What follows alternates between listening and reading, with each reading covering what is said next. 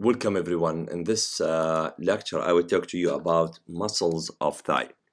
So first of all, before I start talking about the muscles there, I would like to explain or to uh, discuss with you uh, or talk a little bit about the uh, um, fascia of the thigh.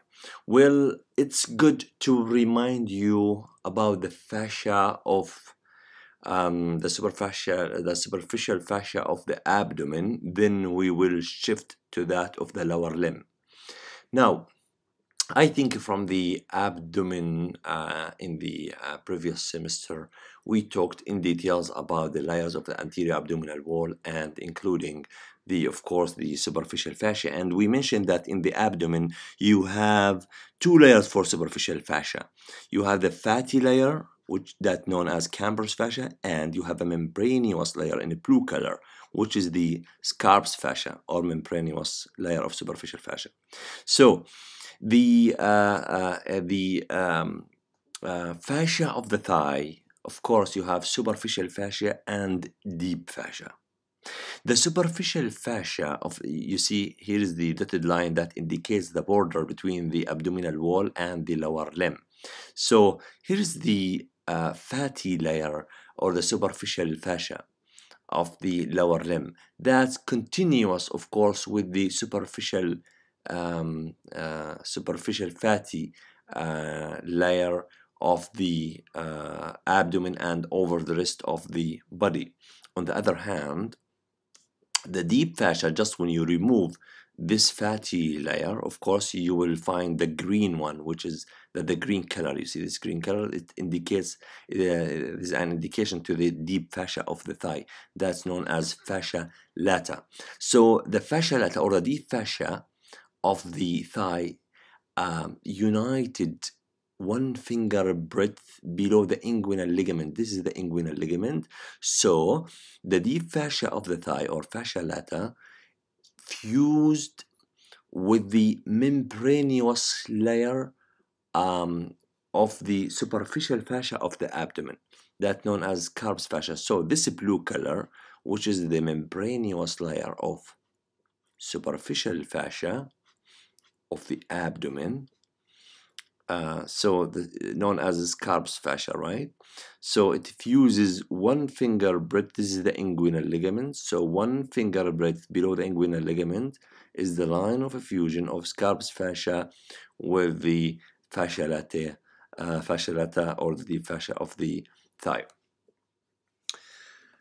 Now, um, yes, as I mentioned, nothing new to talk about. Here is the uh, superficial fascia of the uh, lower limb that continues uh, uh, up over the rest of the body, abdomen, and so forth. And there is a deep fascia of the uh, lower limb.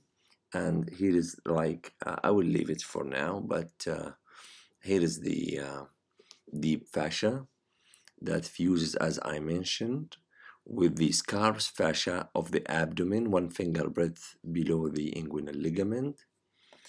And the clinical significant here, this um, clinical note already, uh, as you see here, repeated because it was discussed in the in the abdominal wall. So, and there is video on YouTube also. You can watch it in details. But in Harry, um, the membranous layer of superficial fascia, the blue one, I will use the blue color. So it's continuous above the penis as you see here and up a little bit, then it Uh, uh, fades up, right, and disappeared. And also it continues around the scrotum as you see here, all the way back to reach the perineum. That means if you get a rupture in the penile urethra here, so the urine will extravasate around the penis, as you see the arrows, and here around the penis, and also in the scrotum, and the urine will reach also to the perineal area. Plus, it will ascend between the gap between the pubis and anterior abdominal wall to the lower part of the abdomen here. But if you look here again to the Scarpa's uh, fascia, you will find it, yes, here is the urine can extravasate as I mentioned, but it will stop at the line of fusion between the Scarpa's fascia and the fascia lata or the deep fascia of the thigh because there is a line of fusion so the urine will not uh, moved or fused um, uh, will not um, diffused to the lower limb because here is a point of fusion here and there. So it will be restricted and you will not find urine there okay here's the uh, um, in summary the um, uh, clinical significance of the uh, knowing the superficial fascia and the uh, deep fascia of the thigh.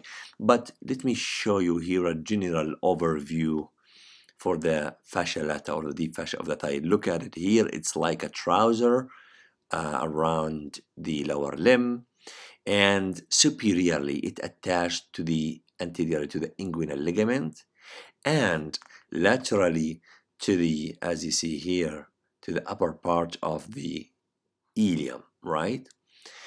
Furthermore, uh, the laterally, the deep fascia, as we mentioned in the previous lectures, it's gonna uh, uh, thicken laterally to form a band known as iliotibial tract. This is the iliotibial tract in which it attaches to the iliac tubercle as you see here, uh, or you can call it tuberculum of iliac crest or iliac tubercle and laterally to the uh, lateral condyle of uh, tibia. The iliotibial tract uh, receives, as you see, insertion from this muscle, which is the tensor fascia lata, and from the gluteus maximus. You look how they inserted really in the uh, tensor fascia, uh, the um, iliotibial tract, and the iliotibial tract, as you see, it sustained or maintains the extended uh, uh, knee or leg, and it prevents the lateral dislocation uh, up of the head of the femur uh, inside the acetabulum, right? So that was uh, the main point about the attachment and extension of uh, uh, fascia lata or the deep fascia of the thigh. But anteriorly, there is a hole. It's like an opening known as saphenous opening. This opening is the saphenous opening. Why it's called saphenous opening? Because maybe you know that this is the great saphenous vein it will drain the blood uh, uh, superficially, of course, from the lower limb uh, all the way up until it reaches and drain into femoral vein. So it pierces the deep fascia through this or it passes through this opening, the opening in the deep fascia that known as saphenous opening because the blood of saphenous, great saphenous vein should be drained into femoral vein. This is a femoral vein, right? So let me erase this. And again, this is the um, saphenous opening. And uh, where is located? You can, uh, there are two ways to uh, approximate its location. One way you can say, uh, well, it's just inferior to the medial, this is the inguinal ligament, so it's just inferior to the medial end of inguinal ligament. Or you can say it's just four centimeters uh, below and lateral to the um, pubic tubercle, right? So about four centimeters, right? Below and lateral to it. So this is the location of saphenous opening. Now, a couple of structures pass from there, including, although it's not um, very well explained here, but you will, um, it's an opening for a great saphenous vein and it attributes plus um, branch of femoral um, artery outside, plus of course lymphatics or lymphatic vessels. So dig deep a little bit more on the saphenous opening. Look at it here. You can see that uh, you can again notice the inguinal ligament and pubic tubercle and its location there and you can notice that this is the lower and lateral margin of this opening this margin called falciform margin falciform margin in which it passes uh, just anterior to the um, femoral vessels including femoral artery and femoral vein. So it's anterior to them. But this um, uh, I would say medially because this is medial right? This is the penis and this is the scrotum. So medially guys the um, it continues and uh, just below and I would say under the femoral vein. Look at it here. It moved just under the femoral uh, vein to attach to the pectineal line of the pelvis. I will show you in the next uh, couple of slides how it's uh, really the uh, saphenous uh, opening medially continues um, behind the femoral uh, vein to, uh, to attach to the pectineal uh, line of the pelvic bone. And of course, it's um, it will not open like that. Of course, will be covered by cribriform fascia. Okay. And you have to know that the thigh divided by the deep fascia into uh, three compartments. Uh, so look at the skin outside, then deep to it you have a superficial fatty layer or superficial fascia, and deep to it there is a blue color here. You see if you trace or you follow the, the, the blue color, you will find that it sends kind of uh, uh, septa to the toward the uh, bone. So let me circle it at the first. So this is the deep fascia that encircles the muscles and the same time from there it sends septa to the inside of the thigh in order to attach to the bone. By this way, the thigh divided into anterior compartment, medial compartment, and posterior compartment. So I will start now with the anterior compartment of the thigh. It's the most interesting part of the thigh and uh, what I want to uh, uh focus now is uh, that the anterior compartment, this is the anterior compartment of the thigh, you see the um, red color, the dark uh, red color here. So this is the anterior, the muscles in the anterior compartment plus these couple of two, these couple muscles here. So you have muscles that will flex the hip and you have muscles that will flex uh, sorry extend the uh, knee. So you have muscles flexor of the hip and extensor of the knee. I will show you how those um, uh, muscles can flex the hip and extend the uh, knee. So but in Harry uh, you have the sartorius muscle, you have the iliopsoas, including the iliacus and the psoas major. We call them both sisters, iliopsoas um, muscle, and you have pectineus uh, uh, muscle, and um, of course you have a big muscle here anteriorly uh, that has four um, heads we call it quadriceps um, femoris muscle. Quadriceps femoris muscle. All of these muscles, when I mentioned, they are innervated mainly by femoral nerve. So let us start with the uh, sartorius. Sartorius, that known as Taylor's muscle or the muscle of the tailor, um, why it's called that? Because this is an easy way to remember the action of this muscle. First of all, uh, you have to know the origin and insertion of this muscle to understand its function. So very simple. Its origin from well-known landmark that you know is the anterior superior iliac spine. You can of course palpate it and feel it there. And it's inserted medially in the, you see where is it?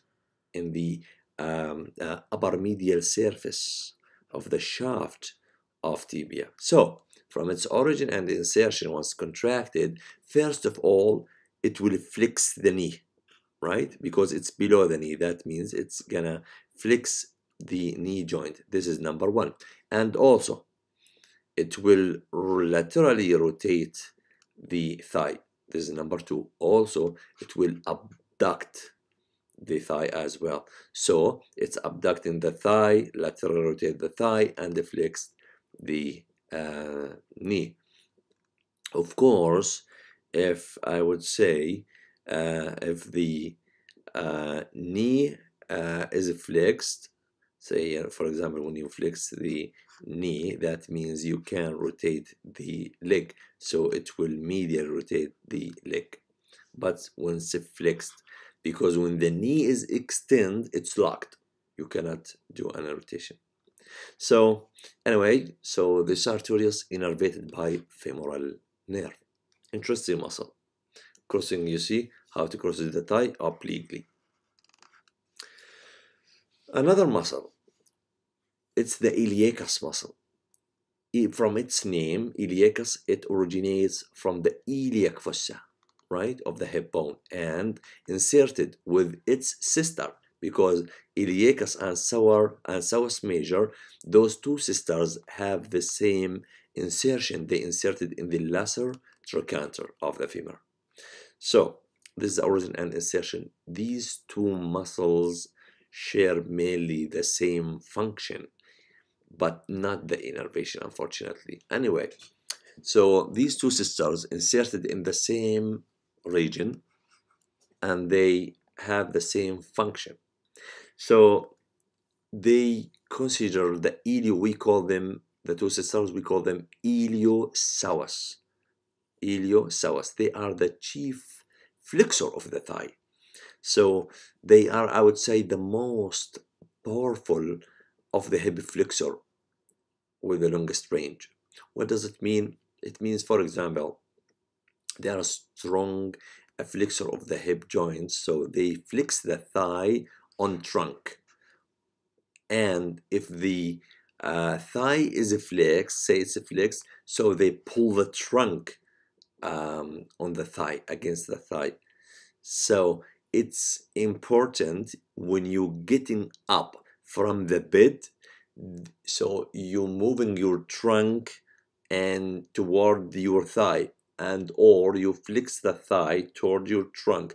This is when you're getting up from the bed right? So you use the iliopsoas so always remember them when you're getting up from the bed.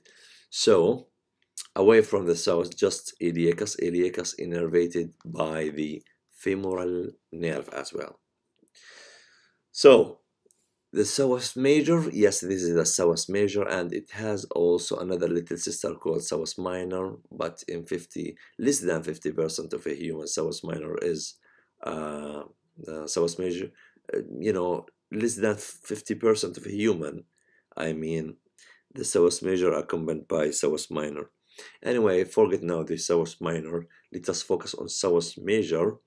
So we mentioned that it's a sister of iliacus and it's originate from the side of vertebra from T12 as you see until L uh, uh, L5 I would say. Here's just indicated L4 but indeed other textbooks say L5 so also not just from the side of vertebrae but also from the intervertebral disc there plus to the transverse processes there So what about the insertion? We know that um, major has the same insertion of iliacus. Very simple, lesser trochanter. The same function of iliacus as I mentioned. And but the nerve supply. the nerve you how can you remember that iliacus from femoral but psoas because it originates from the area nearby the lumbar so or from the lumbar and first thoracic so you have to expect that uh, it will take the innervation from L1 2 mainly and L3 lumbar plexus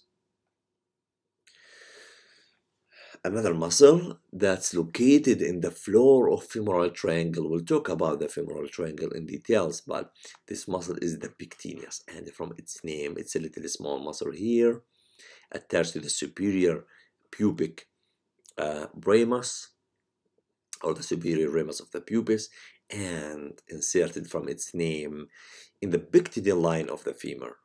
You remember this is the head of the femur and neck and this is greater trochanter and so forth. This is the shaft and this is the lateral trochanter and from lesser trochanter you have a line here moved um, from anterior to posterior. This is the pectineal line that the big pectineus muscle inserted there so this is the superior ramus anyway you can uh, watch the bones of the lower limb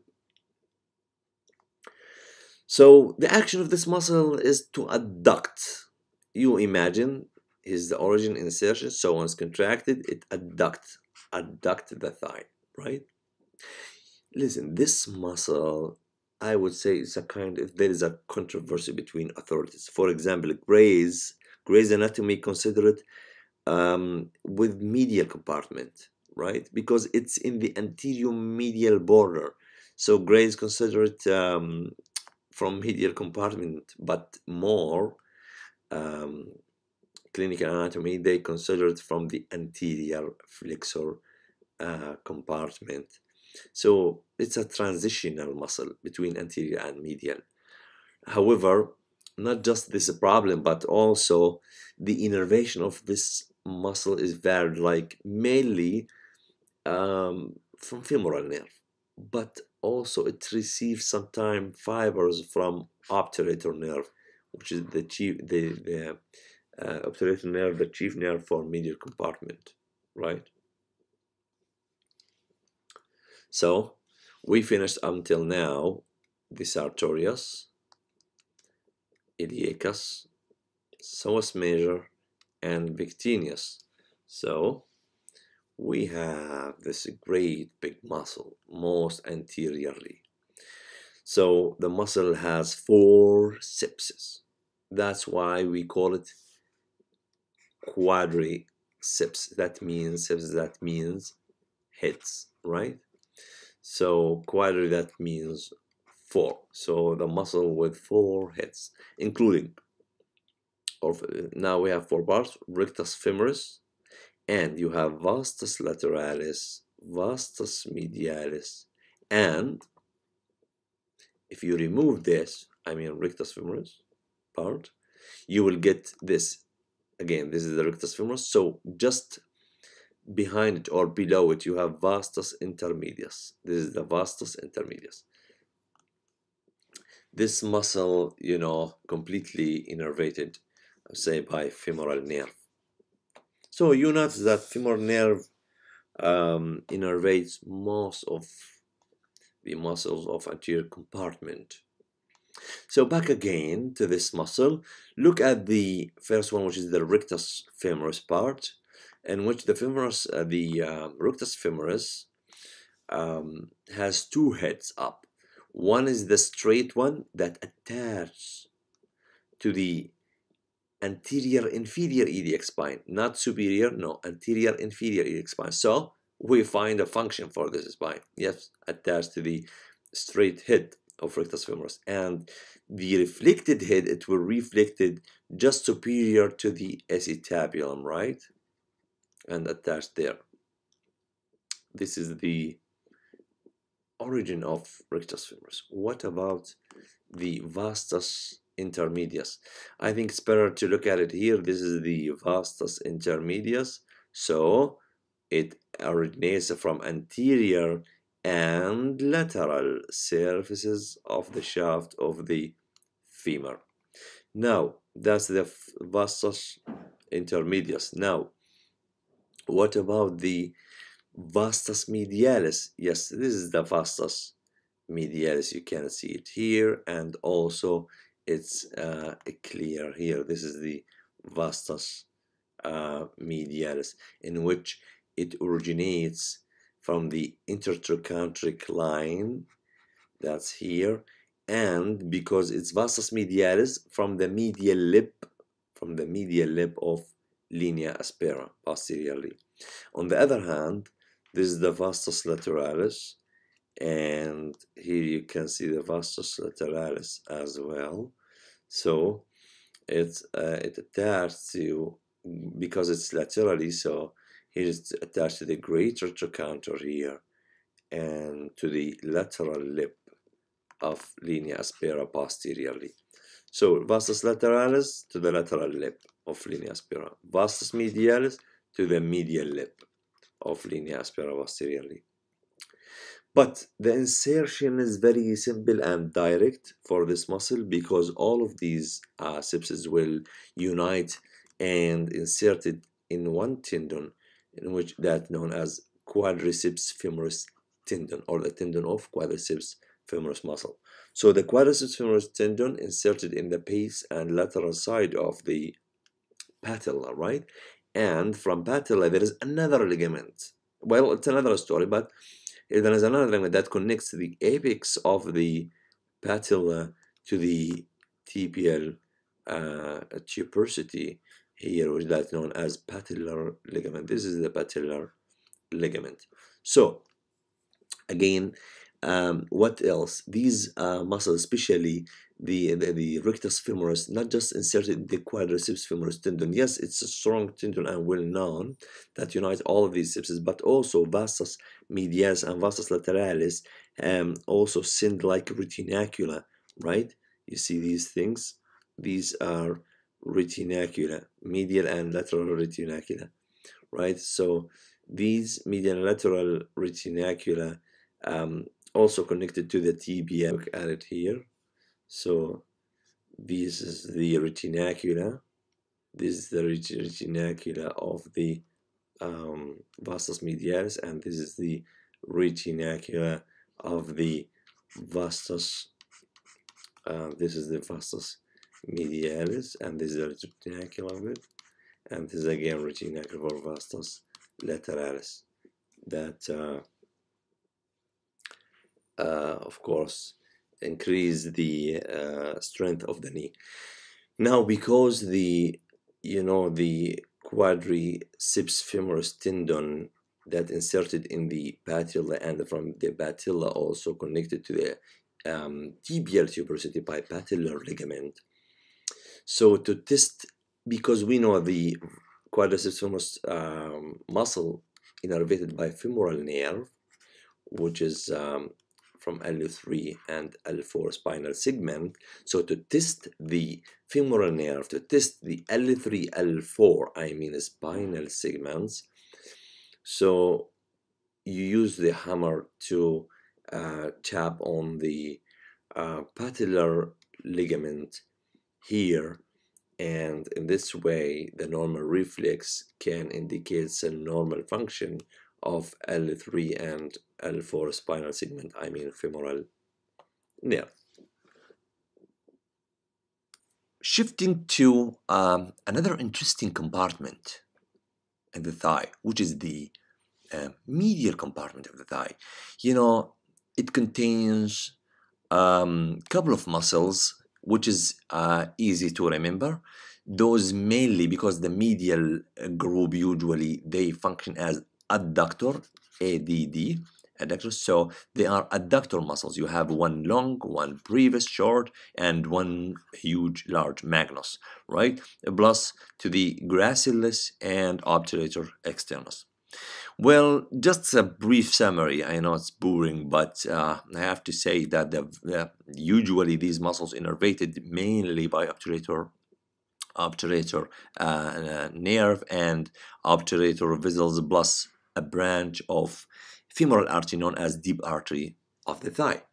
So, um, let me show you the first one, which is uh, really interesting uh, muscle. I like it, which is the gracilis.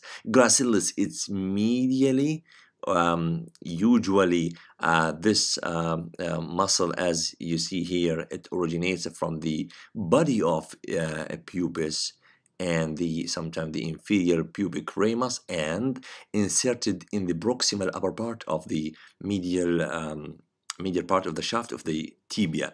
Do you remember the pes anserinus, in which it's abbreviation for S, there is SGT, this area, the insertion, um, pes anserinus is like um, goose foot, right? Was the location for insertion of three tendons, including SGT, I mean sartorius as you see here, and behind it gracilis as you see here as well posterior to it the semitendinosus so three um, um, three ligaments.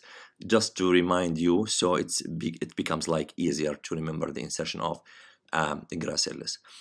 So um, this muscle again because in the medial compartment so it's innervated by obturator nerve and when you imagine when it's contracted it will adduct the thigh. And some authors said yes it's also flicks partially flicks the knee at the leg because it's below the knee. So once contracted it pull the leg like this. So it's a little bit becomes like a flexed right?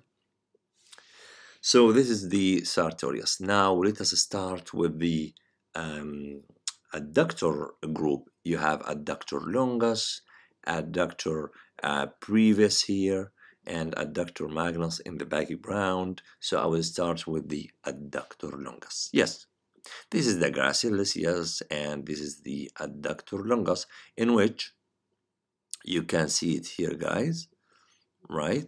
So the adductor longus originates also from the body of the pubis close to the sartorius and insert. Do you remember the linea aspera?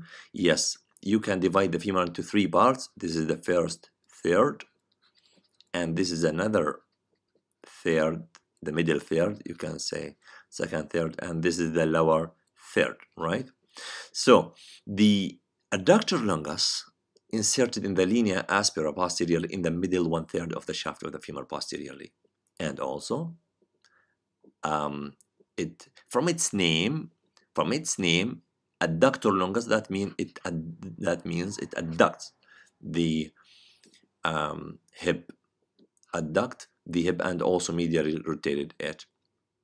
Now, of course, innervated by obturator nerve like gracilis.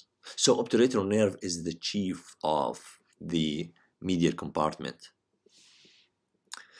So uh, another relatively small muscle from the adductor group, which is the adductor brevis, also originated from the body of pubis here and inserted in which third? In the upper, the linea aspera posteriorly in the upper one third of the femur, right? So this is the uh, uh, adductor brevis that also innervated by obturator nerve and adduct and medially rotate similar, similar to the adductor longus. Adduct and medially rotate the thigh at um, hip joint.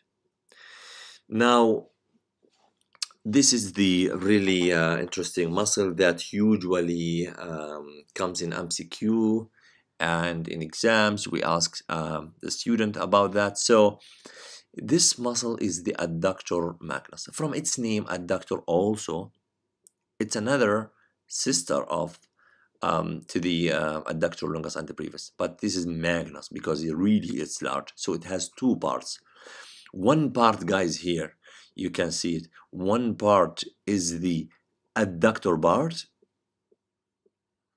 So this is the adductor part. And there is another part, which is hamstring part, which is close to the posterior, close posteriorly, right?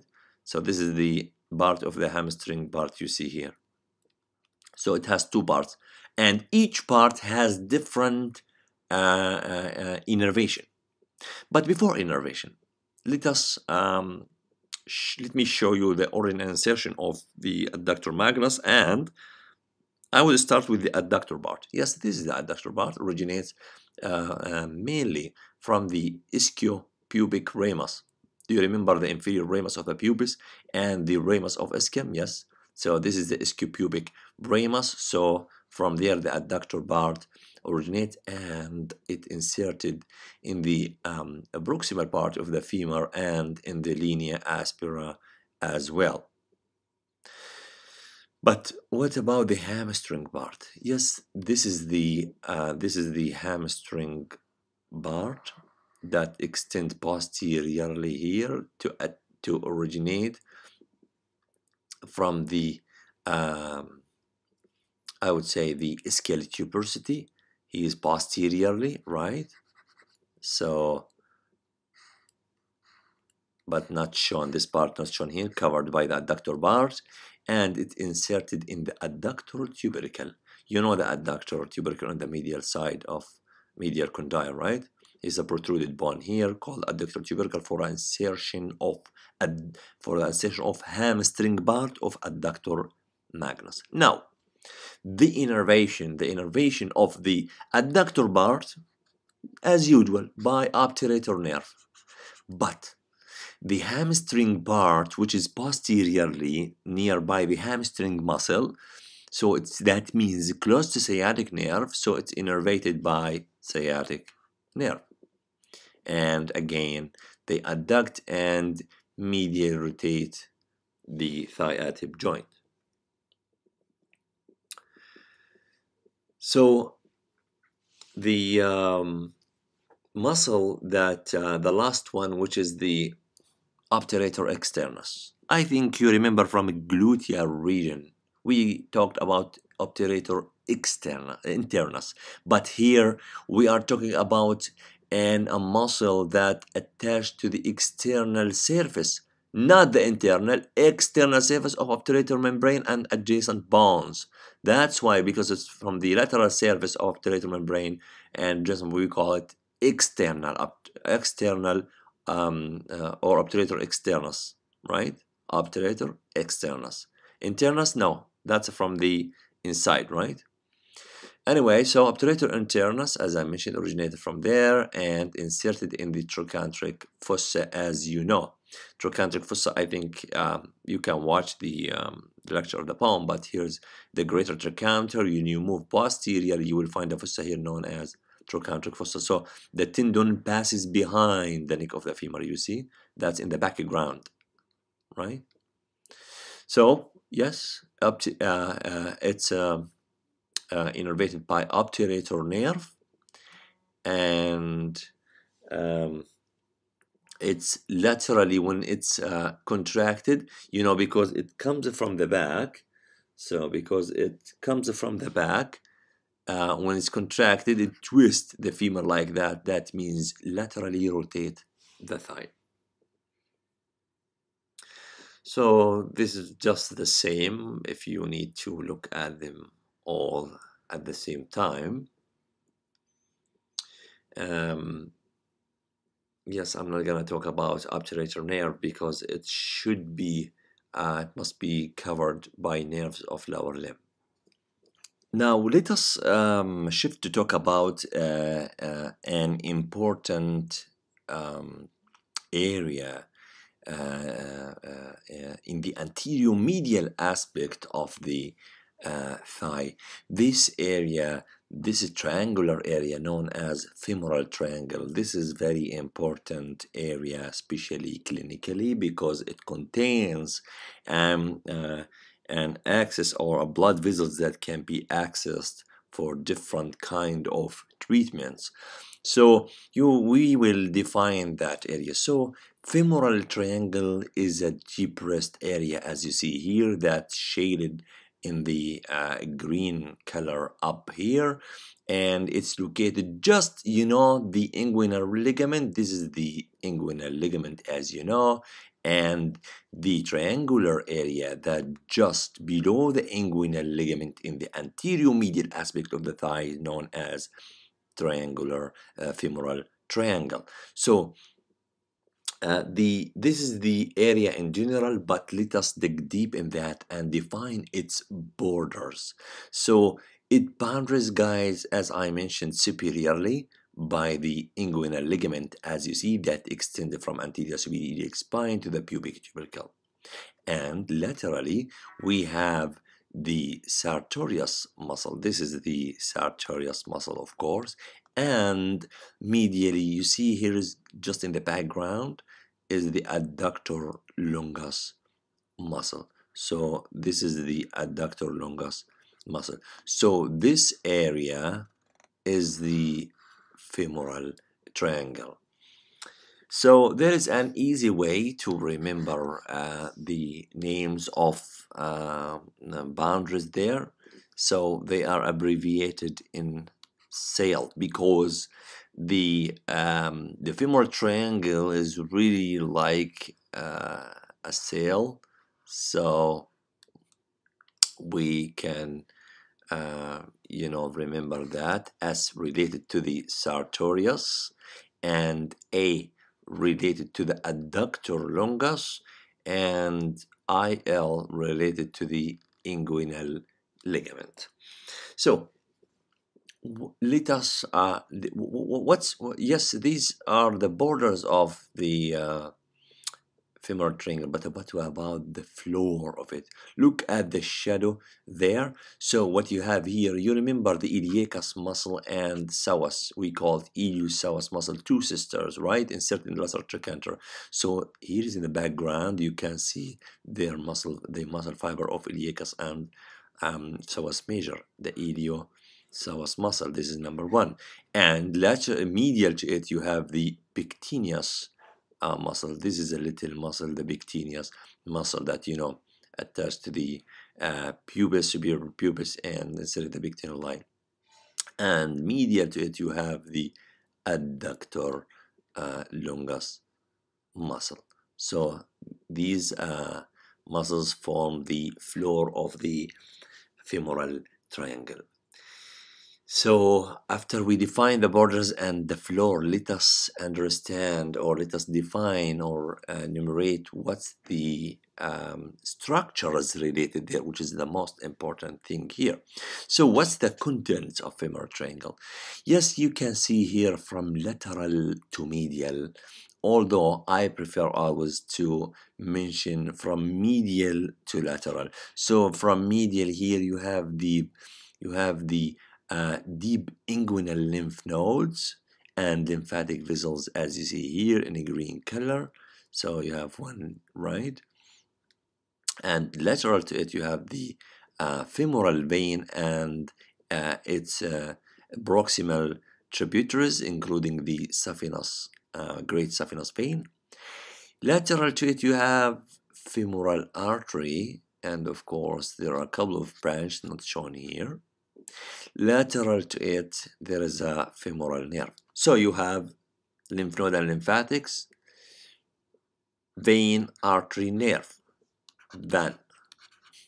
But remember, uh, this is from medial to lateral. That means more medially is the vein. Lateral to it is the artery. Lateral to it is the nerve, femoral vein, artery, and nerve. Very simple. Now,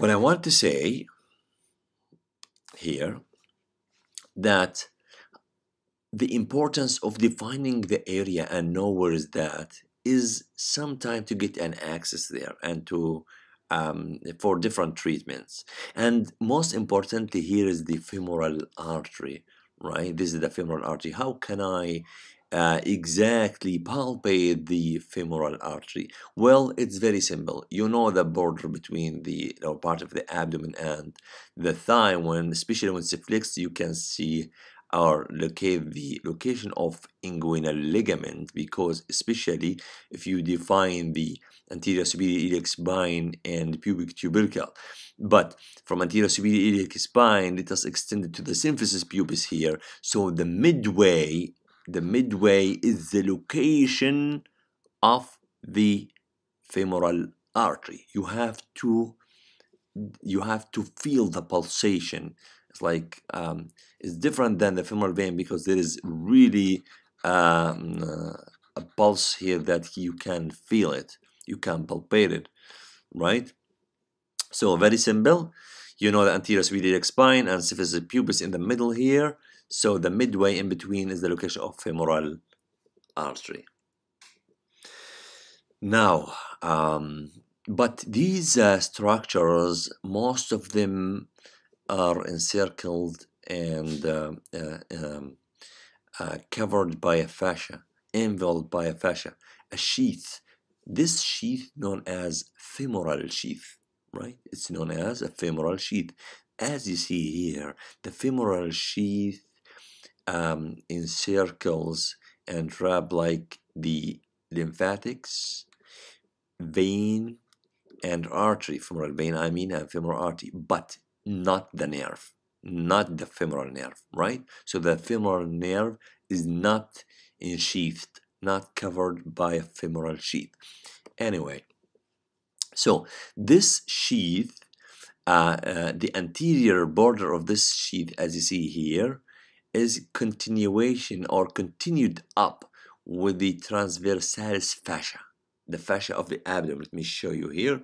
So you know you remember, I think, from the previous semester, the layers of the abdomen, and most you know deeply you have the uh, fascia transversalis which is before the extraperitoneal fat and peritoneum, right?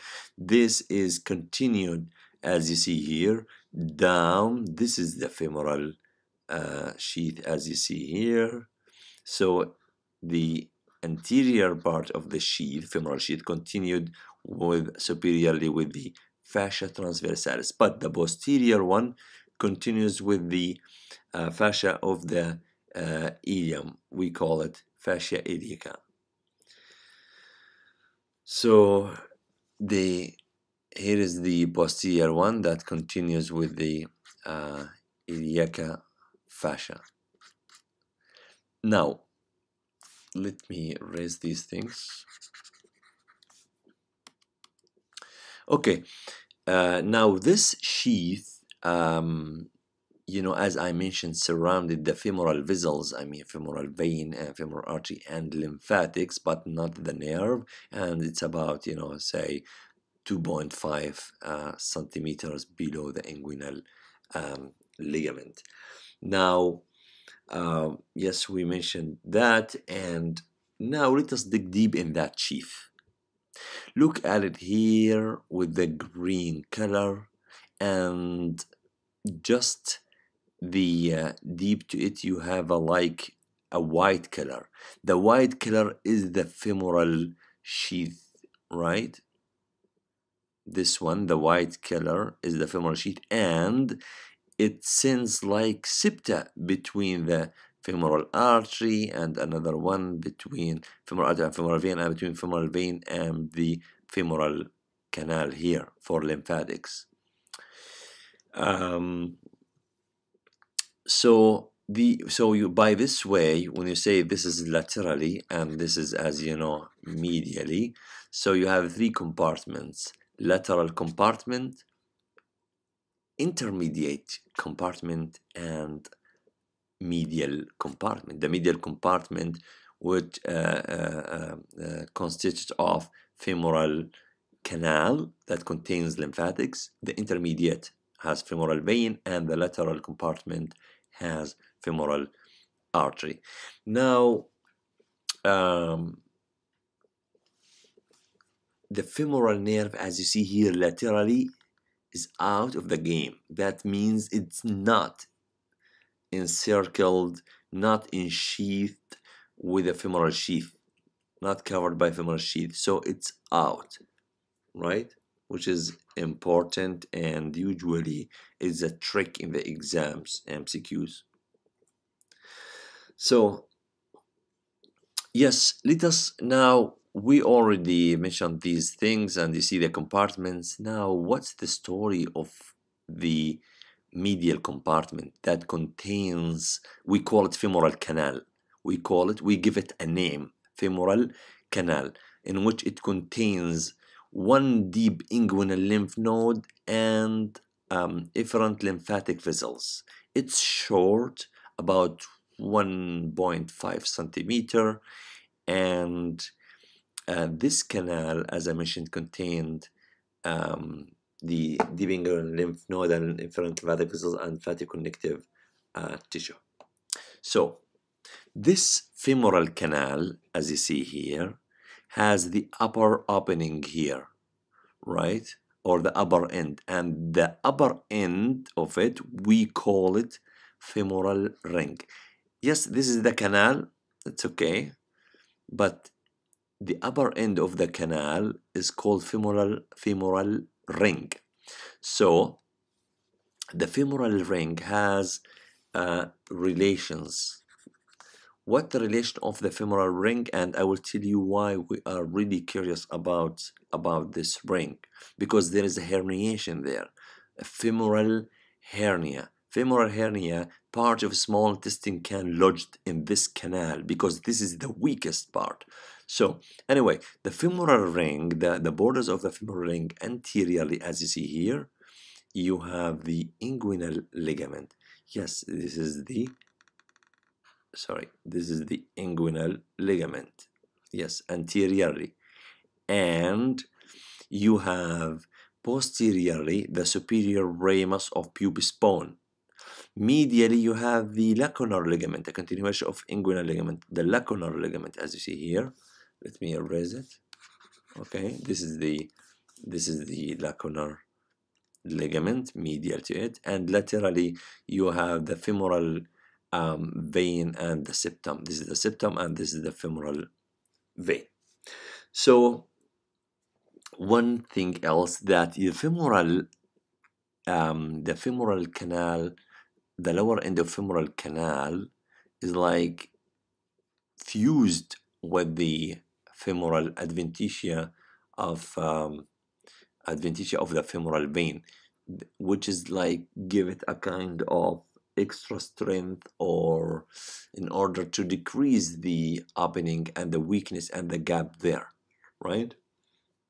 So which is close of course to the saphenous opening. We talked about this opening previously in the previous lecture. Um, certainly in this lecture but um, in the previous slides I mean.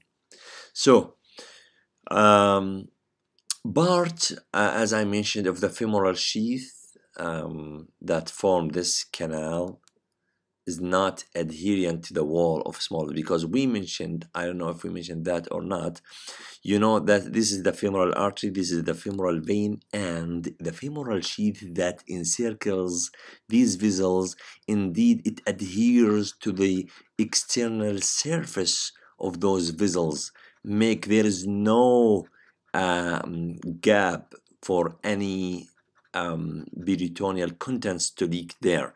But unfortunately, medially in the femoral ring here, the, the sheath, the femoral sheath is not adhere to the lymphatic vessels inside it. That means it's like loose structure there and there is a gap that permits as you see here, loops from the intestine to be passed through it and lodged there. This is the femoral hernia.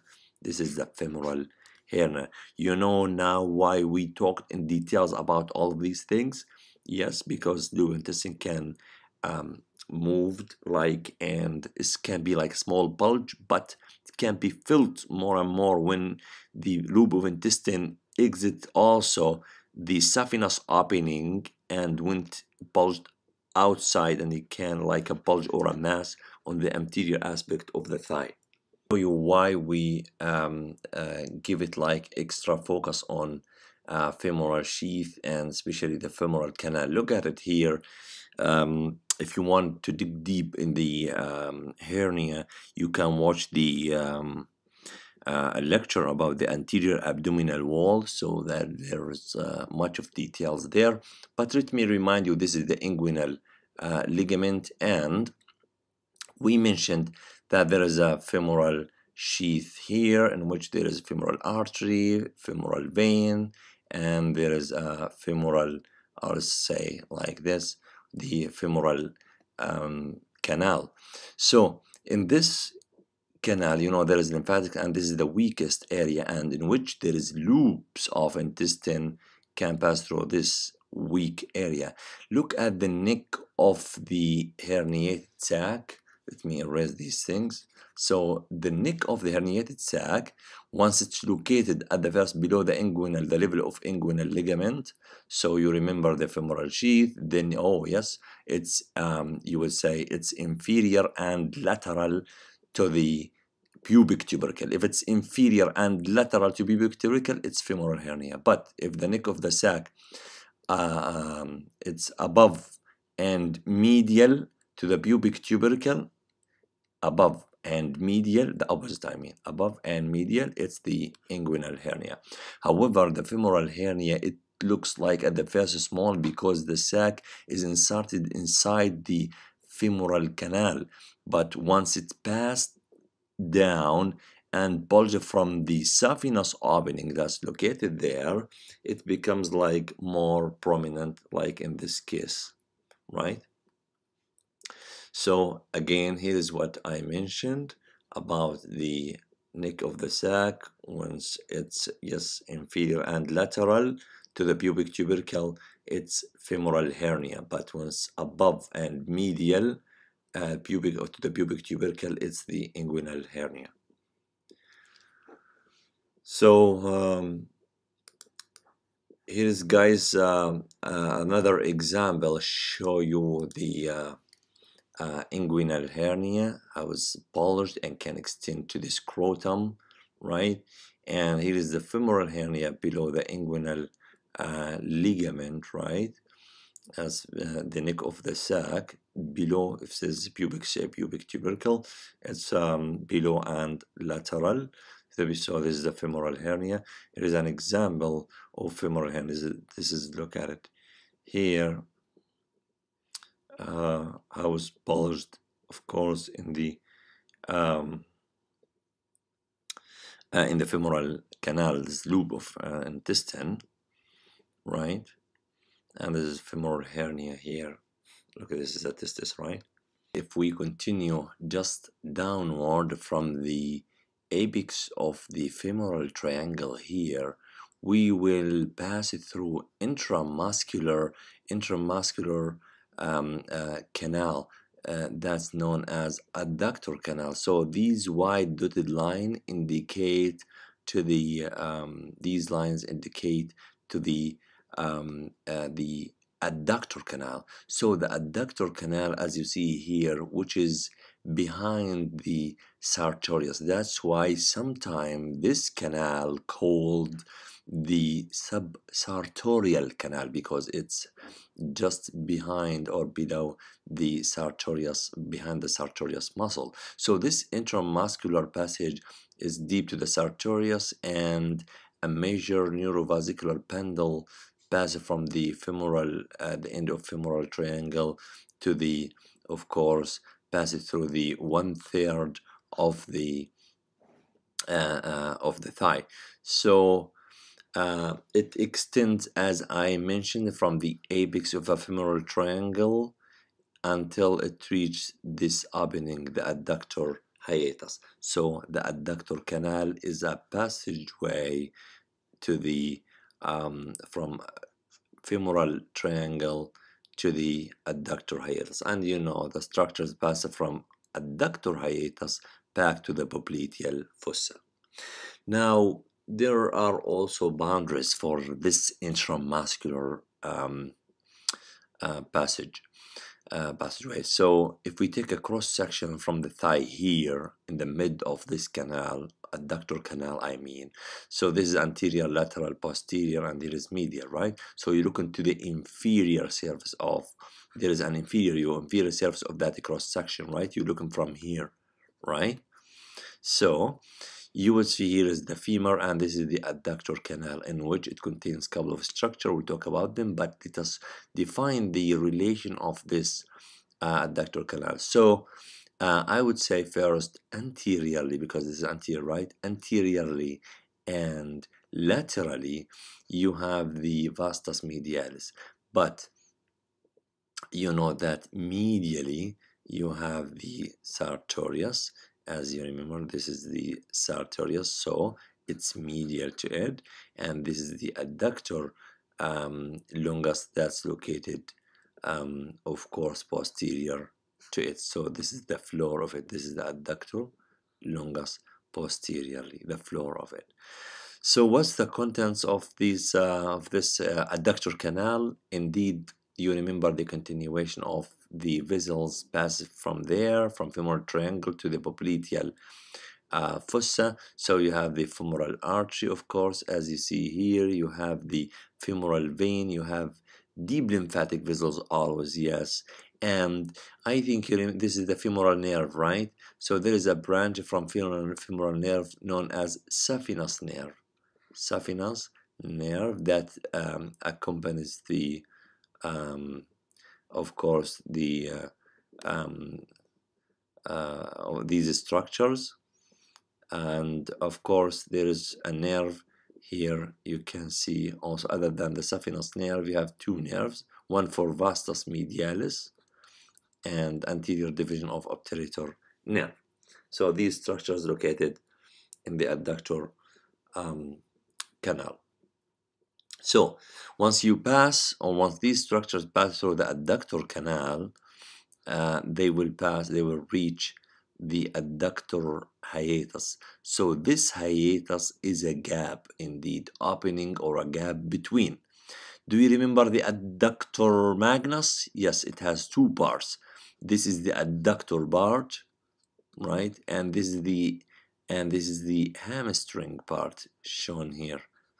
So so the adductor hiatus is a gap located between the insertion of the um, the aponeurosis of adductor part of adductor magnus and the insertion of the um, hamstring part because it has two parts hamstring part of adductor magnus. So you have a muscle known as adductor magnus. We mentioned that before a couple of slides.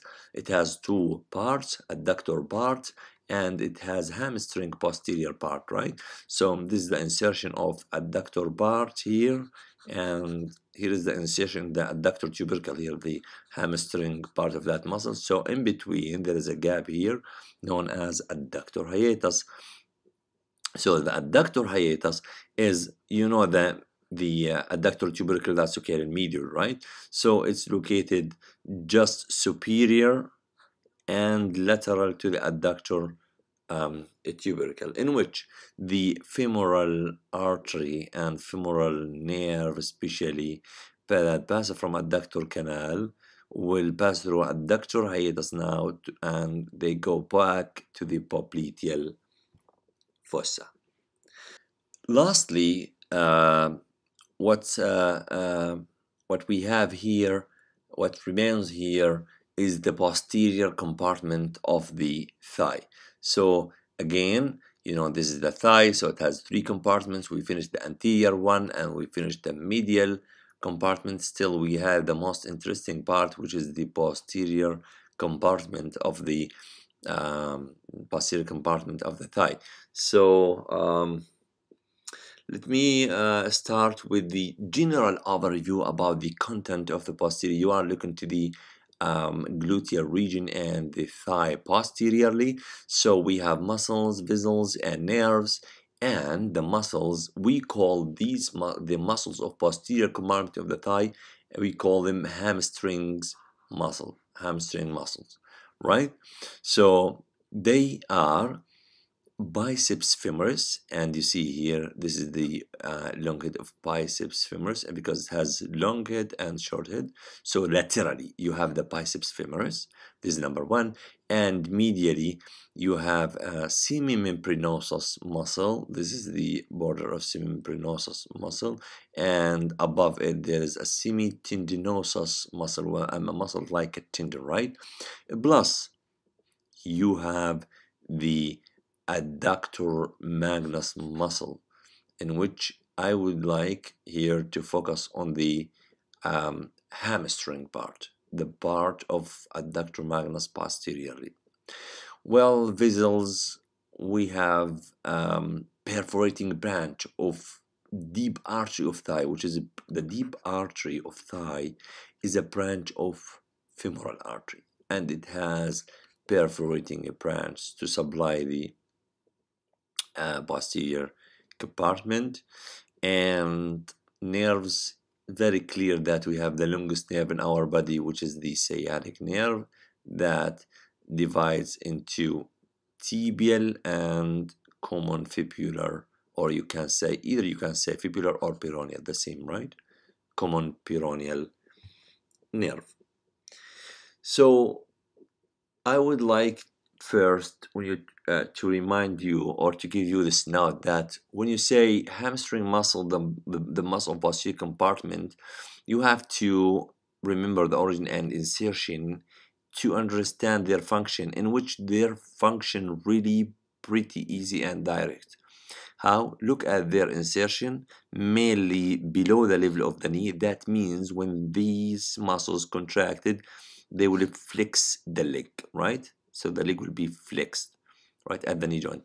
Also when they contracted they pull the hip to the back. That means they extend the thigh at the level of hip joint and they flex the leg at the level of knee joint. Just imagine when they contracted and what's the then you can conclude what the function of those muscles so let us start with the first one the lateral one the biceps femoris not biceps brachii that's in your upper limb but here you have uh, a muscle related to the femur, the femur, so I call it biceps femoris. It has two heads. So you have short head as you see here, and you have a long head. So the long head originates from ischial tuberosity, while the short head originates from the linea aspera and lateral supracondylar ridge because lateral these muscles mainly laterally. So linea aspera and the lateral supracondylar ridge a continuation of linea aspera inferiorly. So both they inserted in the head of fibula. So when we say biceps femoris we have to remember the that this muscle has two heads and laterally so now you look into the posterior surface of it so this is the long head and this is the short head inserted in the head of the fibula.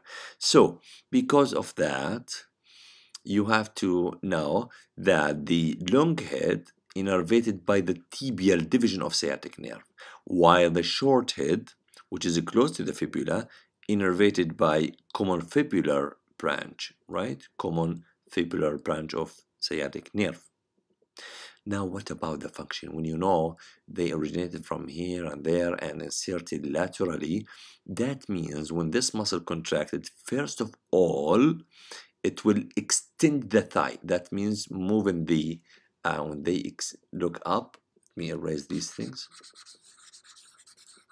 So, imagine when it's contracted here, so they will pull the thigh posterior like that. That means extend the hip.